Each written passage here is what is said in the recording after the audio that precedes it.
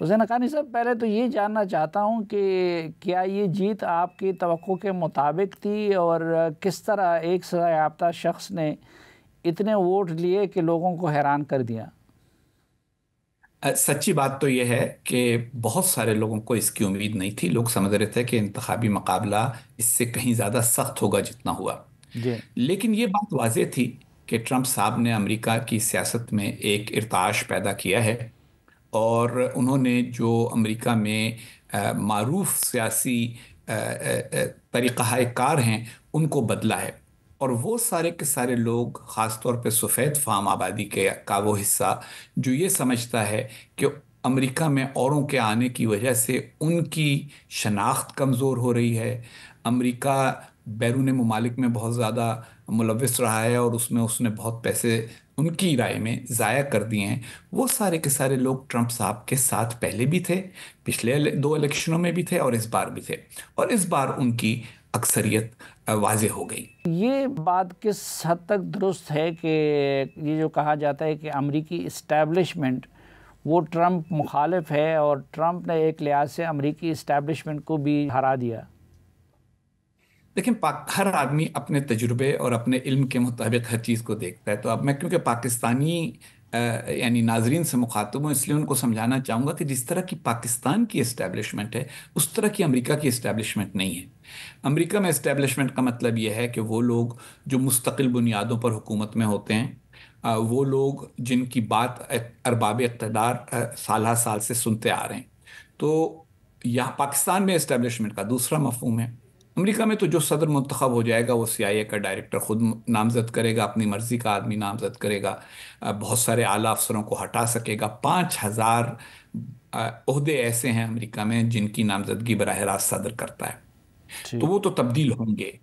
उस तरह की इस्टेब्लिशमेंट अमेरिका में नहीं है जैसी हमारे यहाँ हाँ ये ज़रूर है कि वो तमाम इदारे वो तमाम अफराद जो तारीख़ी तौर पर फैसला कन हैसियत रखते रहे हैं ट्रंप साहब उनके ख़िलाफ़ बोलते हैं और उनमें से अक्सरियत उनके हक़ में नहीं थी। हती कि वो सारे लोग जिनको ट्रंप साहब ने पिछली बार अपनी काबीना में शामिल किया था उनमें से भी कोई फ़र्द इस बार इंतबी मुहिम में उनके हक़ में नहीं बोला। उसका सबब यह है कि उनका जो अंदाज़ है वो मरूफ तरीक़ों से मुख्तलफ है। यूँ समझ लीजिए कि एक ऐसे माशरे में जहाँ हमेशा तमीज़ से गुफ्तु होती है वो ज़रा सी बदतमीज़ी से गुफ्तु करते हैं हम्म।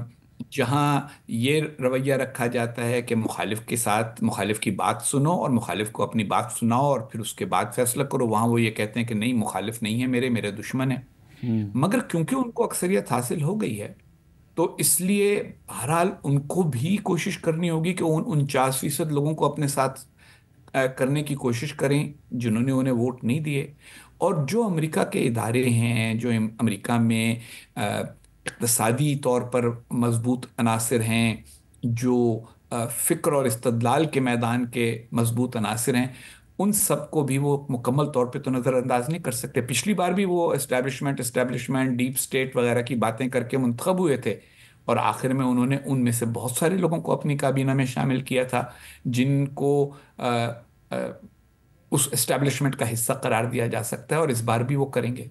कहा जा रहा है कि जी शायद वो आके पाकिस्तानी जहनीत से जब हम सोचते हैं कि वो अपने मुखालफन से इंतकाम लेंगे इस तरह का कोई इम्कान तो नहीं है? मेरा नहीं ख्याल। देखिए पिछली बार भी उन्होंने इस किस्म की बातें की थी इलेक्शन जीतने के लिए उन्होंने असल में उन्होंने तीसरी दुनिया के तौर तरीक़े अमेरिका में मुतारफ़ करा दिए हैं। इलेक्शन का नतीजा न मानना मुखालफन के ख़िलाफ़ नारे लगवाना, लोगों के जज्बात भड़काना, मगर उनको पता है कि उनके इख्तियार की क्या हदूद हैं। उन्होंने नारा लगाया था हिलरी क्लिंटन के ख़िलाफ़ लॉक हर अप, और लोग लगा, लगाते थे नारा कि ये बेईमान है बेईमान है। उनको वो कहते थे करप्ट हिलरी और पता नहीं क्या क्या कहा करते थे। Crooked Hillary. लेकिन जब वो इकतदार में आए तो उनके जो आ, कानून नाफिज करने वाले इदारे थे उन्होंने जब तहकीक की तो उन्होंने कहा नहीं इसमें तो कोई मुकदमा नहीं बनता कोई मुकदमा नहीं बना किसी के खिलाफ कोई कार्रवाई नहीं हुई। जबान के वो तेज़ हैं और वो सख्त ज़बान इस्तेमाल करने के आदि हैं जो कि इस सोशल मीडिया के दौर में शायद उनके लिए कामयाबी का बायस बना है, क्योंकि इसमें मुझ जैसे नरमी से बात करने वालों की बात को लोग उतनी तवज्जो से नहीं सुनते, जितनी मोटी मोटी गालियाँ देने वालों की बात को सुनते हैं। तो वो उनकी बात है, वो उनका रवैया रहेगा वो था पहले। लेकिन किसी के खिलाफ इंतकामी कार्रवाई वो इतनी आसानी से कर नहीं पाएँगे, क्योंकि अदालतें उनको की बात नहीं मानेंगी। खुद देखिए ना, उनके अपने नामजद करदा बहुत सारे जजों ने उनकी मर्ज़ी के ख़िलाफ़ फैसले दिए हैं। तो ये अमेरिका की रिवायात हैं, कुछ 200-250 साल की रिवायात हैं, ये चार साल में बदल नहीं जाएँगी। हम ये कह सकते हैं कि किसी हद तक उन्होंने पाकिस्तानाइजेशन ऑफ़ यूएसए कर दिया है।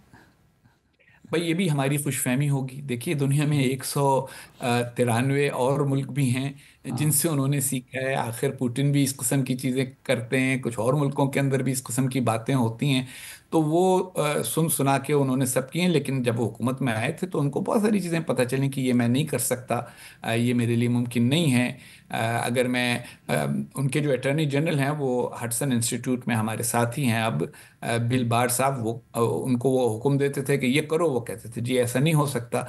तो उनके निज़ाम में इस बात की गुंजाइश मौजूद है कि सदर को भी आदमी ये कहता है कि कानून की वजह से ऐसा नहीं हो सकता। वाइट हाउस में बहुत सारे वकील बैठे होते हैं। जो हर बात का जायज़ा लेते हैं कि क्या चीज़ कानून के मुताबिक है और क्या चीज़ कानून के मुताबिक नहीं है। इतनी आसानी के साथ अमेरिका को पाकिस्तानाइज करना मुमकिन नहीं है। ठीक। डोमेस्टिक फ्रंट पे उनकी तरजीहत क्या होंगी और डोमेस्टिक या अंदरूनी महाज पे वो क्या तब्दीलियाँ ला सकते हैं? उन्होंने जो सबसे बड़े फैसले पहले भी किए हैं, अब भी करेंगे, वो टैक्स का रेट कम करना चाहते हैं। उनका मौक़ ये है और ये बहुत सारे लोगों को अच्छा लगता है। हालाँकि जो गरीब लोग हैं, उनका तो टैक्स पहले ही कम होता है, लेकिन उसको भी वो अगर और कम कर दें तो वो खुश हो जाते हैं। उनको सौ, दो सौ, तीन सौ डॉलर और मिल जाएँगे, लेकिन असल फ़ायदा उसका बड़े कारोबारी लोगों को होगा।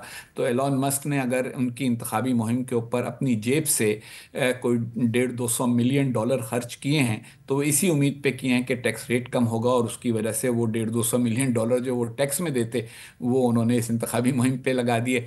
तो एक तो टैक्सेस के मामले में उनकी पॉलिसी मुख्तलिफ़ होगी इकानमी के हवाले से। दूसरी बात ये कि वो ये कहते हैं कि अमेरिका ने बहुत ज़्यादा रियायत दे दी पूरी दुनिया को कि उसका मालो इसबाब सामान जो है वो अमेरिका में बिकता है। इस वक्त अमेरिका दुनिया के तकरीबन सारे ही बड़े ममालिक की सबसे बड़ी मंडी बन गया है। वो कहते हैं कि नहीं हम ऐसा नहीं होने देंगे हम उनके ऊपर दोबारा से टैरिफ्स लगाएँगे आ, उनके ऊपर इम्पोर्ट की की की ऊपर टैक्स लगाएँगे ताकि हमारी अपनी सनतें परवान चढ़ सकें। फिर उनका कहना यह है कि ये जो कई सालों से हो रहा है कि अकलीतों के हकूक़ों की हिफाजत करने के लिए अक्सरियत के को कुछ पाबंद किया जाए मामला में मसन दाखिलों में कोटे यूनिवर्सिटियों में सरकारी मुलाजमतों में उसको डाइवर्सिटी इक्विटी एंड इंक्लूजन कहा जाता है डी आई तो उनका कहना यह है कि नहीं, इससे सफ़ेद फार्म आबादी के साथ ज़्यादती होती है। हर आदमी अपनी मेरिट के ऊपर आए। दलील के तौर पे ये बात अच्छी है, लेकिन लोग ये कहते हैं कि औरतों को, वरना लोग आगे नहीं बढ़ने देते, अकलीतों को आगे नहीं बढ़ने देते। तो जो पिछले पंद्रह बीस साल में अकलीतों को आगे बढ़ाने के लिए कवायद कवानीन बने, वो उनको बदलना चाहते हैं। और इससे अकलीतों को शायद नुकसान भी पहुंचेगा। और सबसे अहम बात यह है कि वो ये कहते हैं कि मैं अमेरिका में इमिग्रेशन को बहुत महदूद करूँगा। सिर्फ़ एक तो ये कि जो गैर कानूनी तौर पर यहाँ आए हुए हैं और वो बड़ी तादाद है। आपको पता है मेक्सिको के बॉर्डर से हमारे यहाँ के लोग भी जाते हैं। पाकिस्तान से भी, इंडिया से बहुत गए थे लोग जो पकड़े गए। अभी एक पूरा जहाज़ पिछले दिनों डिपोर्ट किया गया है। लोगों का वहाँ से जो इंडिया वापस भेजे गए तो ये कि उनकी गिरफ्तारी और उनकी डिपोटेशन को तेज़ करूँगा। और उसके बाद नई जो आमद है कानूनी और गैर कानूनी दोनों को रोकने की कोशिश करूँगा। कानूनी इमिग्रेशन का यह है कि बहुत से कवानीन मौजूद हैं जिनके तहत एक आदमी जब अमेरिका का आ, की शहरीत इख्तियार कर लेता है तो वो अपने वालदेन को अपने सारे रिश्तेदारों को आ, वो आ, इसको चेन इमिग्रेशन कहते हैं। तो एक फ़र्द के आने की वजह से को बीस पच्चीस और लोग उसके ख़ानदान के आ सकते हैं। उनका कहना यह है कि अमेरिका को पढ़े लिखे ऐसे इमिग्रेंट्स की ज़रूरत तो है कि जो अमेरिका की मीशत में कुछ कंट्रीब्यूशन कर सकें। लेकिन उसको ये नहीं ज़रूरत कि एक डॉक्टर आया है तो फिर उसके वालदेन भी आएँ, उसके बहन भाई भी आ जाएँ और उसका पूरा ख़ानदान यहाँ आ जाए। वो वो बंद करना चाहते हैं, उसके लिए उनको कानून साजी करनी पड़ेगी। ठीक।